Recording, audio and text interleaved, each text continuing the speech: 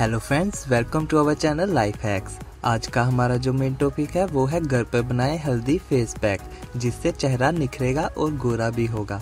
Face mask त्वचा की dead skin को हटाकर उसे चमकदार बनाने में मदद करता है। बाज़ार में ऐसे कई फेस मास्क उपलब्ध हैं, जो यह वादा करते हैं कि आप उनको लगाने से चेहरा बेदाग और चमकदार हो जाएगा।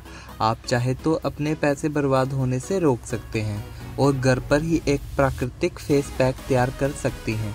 हल्दी एक ऐसा ही प्राकृतिक मसाला है जिसके इस्तेमाल से जुड़ियाँ ठीक होती है और चमकदार त्वचा भी प्राप्त होती है। तो आइए जानते हैं कि इसका इस्तेमाल कैसे करना है। हल्दी को आटे के साथ मिलाएँ और उसमें कुछ बूंद शहद और दूध की डालें। इसका इस पेस्ट बनाएँ और अपने चेहरे पर लगाएँ। इस पेस्ट को लगाने से पहले अपने चेहरे को साबुन से धो लें। फिर इस पेस्ट को 10 मिनट के लिए चेहरे पर लगा कर रखें और फिर गर्म पानी से धो लें।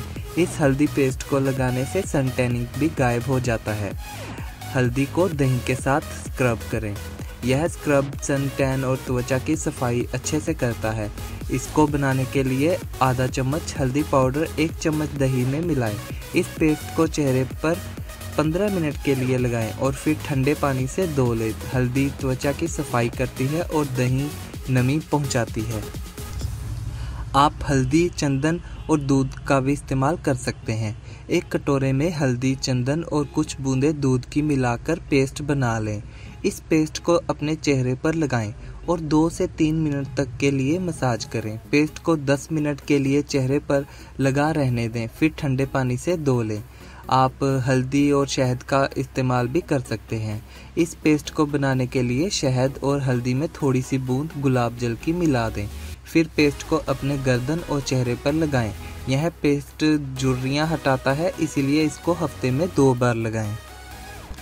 तो फ्रेंड्स ये था हमारा आज का टॉपिक घर पर बनाए प्राकृतिक हल्दी फेस पैक जिससे चेहरा निखरेगा और गोरा भी होगा। अगर आपको हमारी वीडियो पसंद आए तो लाइक कमेंट एंड शेयर ज़रूर कीजिएगा।